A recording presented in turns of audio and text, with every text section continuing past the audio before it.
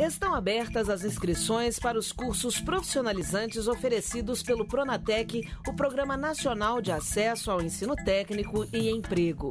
São 442 cursos disponibilizados em todo o Brasil de forma gratuita por instituições de ensino federais e pelos serviços nacionais de aprendizagem.